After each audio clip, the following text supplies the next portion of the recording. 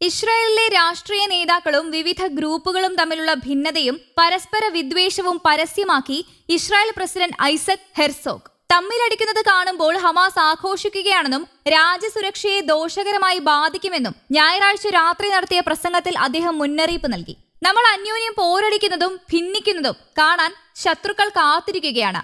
ഇസ്രായേലികൾ പരസ്പരമുള്ള സംഘടനകൾ വാദപ്രതിവാദങ്ങൾ ഈഗോ യുദ്ധം രാഷ്ട്രീയ സംഘർഷം ഇവയൊക്കെ അവർ കണ്ടുകൊണ്ടിരിക്കുകയാണ്. നമ്മുടെ ഭിന്നത കാണുമ്പോൾ അവർ ആഘോഷിക്കുന്നു.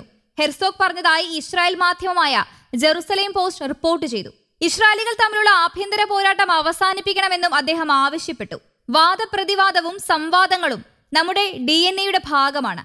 വേണമെങ്കിൽ യുദ്ധസമയത്ത് പോലും തർക്കിക്കുകയും വിമർശിക്കുകയും ചെയ്യാം. പക്ഷെ അതിനൊക്കെ അതിന്റെതായ ഒരു രീതിയുണ്ട്. ഹെർസോ കൂട്ടിച്ചേർത്തു. ഓൺലൈനിൽ പരസ്പരം വിഷം വമിക്കരുതെന്നും നമ്മളും അവരും എന്ന വിഭാഗീയത പ്രകടിപ്പിക്കരുതെന്നും അദ്ദേഹം കൂട്ടിച്ചേർത്തു.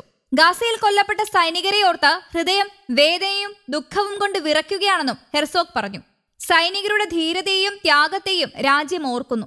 അവർ ഉത്തരവാദിത്വത്തോടെയും ഉറച്ച തീരുമാനത്തോടെയുമാണ് പോരാടുന്നത്. ഹമാസ് ബന്ദികളാക്കിയവരെ തിരിച്ചു വീട്ടിലെത്തിക്കുന്നത് വരെ നമുക്ക് വിശ്രമമില്ലെന്നും അദ്ദേഹം പറഞ്ഞു. അതിനിടെ രണ്ടു ദിവസത്തിനിടെ പതിനഞ്ച് സൈനികർ കൊല്ലപ്പെട്ടതായി ഇസ്രായേൽ സ്ഥിരീകരിച്ചു. ഹമാസ് പോരാളികളും ഇസ്രായേൽ സൈന്യവും തമ്മിൽ വടക്കൻ തെക്കൻ ഗാസയിൽ കനത്ത പോരാട്ടം തീവ്രമാണ്. ശത്രുവിന് കനത്ത ക്ഷതം വരുത്തിയെന്നും നാല് നാളുകൾക്കിടയിൽ മുപ്പത്തിയഞ്ച് സൈനിക വാഹനങ്ങൾ തകർത്തുവെന്നും അൽഖസാം ബ്രിഗേഡ് വക്താവ് അബു ഉബൈദ പറഞ്ഞു. കരയുദ്ധത്തിൽ കൊല്ലപ്പെട്ട സൈനികരുടെ എണ്ണം ഗണ്യമായി ഉയർന്നതോടെ ഇസ്രായേൽ രാഷ്ട്രീയ സൈനിക നേതൃത്വം കൂടുതൽ സമ്മർദ്ദത്തിലായി. സമയമെടുത്താലും സമ്പൂർണ വിജയം നേടുന്നതുവരെ യുദ്ധം തുടരുമെന്നാണ് ഇസ്രായേൽ പ്രധാനമന്ത്രി ബെഞ്ചമിൻ നെതന്യാഹു അറിയിച്ചത്. എല്ലാ ഭിന്നതകളും മറന്ന സൈന്യത്തിനുമേൽ ഉറച്ചു നിൽക്കണമെന്നും നെതന്യാഹു കൂട്ടിച്ചേർത്തു. ഗാസയിൽ ഹമാസ് കൊലപ്പെടുത്തുന്ന സൈനികരുടെ യഥാർത്ഥ കണക്ക് ഇപ്പോഴും Israel പുറത്തുവിടുന്നില്ലെന്ന് Gaza media office director Ismail ആരോപിച്ചു. കൊല്ലപ്പെടുന്ന സൈനികരിൽ പത്ത് ശതമാനം പേരുടെ പേരുവിവരങ്ങളും കണക്കുകളും മാത്രമേ ഇസ്രായേൽ വെളിപ്പെടുത്തുന്നുള്ളൂവെന്നും അദ്ദേഹം പറഞ്ഞു.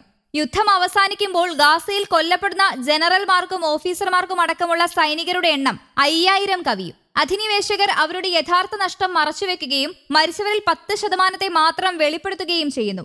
അതേസമയം ക്രിസ്മസ് രാവിൽ അൽമഗാസി അഭയാർത്ഥി ക്യാമ്പിൽ ഇസ്രായേൽ നടത്തിയ കൂട്ടക്കുരുതിയിൽ കൊല്ലപ്പെട്ട യുവതിയുടെ മകളുടെ വിലാപം ലോകത്തിന്റെ വേദനയായി. ജനങ്ങൾ തിങ്ങിപ്പാർക്കുന്ന അഭയാർത്ഥി ക്യാമ്പിൽ ഇന്നലെ രാത്രിയും ഇന്ന് പുലർച്ചെയുമായി ഇസ്രായേൽ നടത്തിയ ഭീകരാക്രമണത്തിലാണ് ഈ കുട്ടിയുടെ മാതാവ് കൊല്ലപ്പെട്ടത്.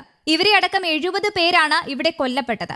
അവശിഷ്ടങ്ങൾക്കിടയിൽ കുടുങ്ങിയവരെ രക്ഷിക്കുന്നതിനിടെയായിരുന്നു കരളലിയിക്കുന്ന കരച്ചിൽ. പലായനം ചെയ്യുന്നവർക്കായി ഇസ്രായേൽ തന്നെ ഔദ്യോഗികമായി പ്രഖ്യാപിച്ച ക്യാമ്പിലാണ് ഇന്നലെ കൊടും ക്രൂരത അരങ്ങേറിയത്. ഇവിടം സുരക്ഷിതമെന്ന് വിശ്വസിച്ച് അഭയം തേടിയ ആയിരങ്ങൾക്ക് മേലാണ് ഇസ്രായേൽ ഇന്നലെ ആക്രമണം നടത്തിയത്. മരണസംഖ്യ ഇനിയും ഉയർന്നേക്കും. ഖാൻ യുനീസിൽ നടത്തിയ വ്യോമാക്രമണത്തിൽ ഇരുപത്തിയെട്ട് പേരും കൊല്ലപ്പെട്ടു. News desk Kerala Kaumudi.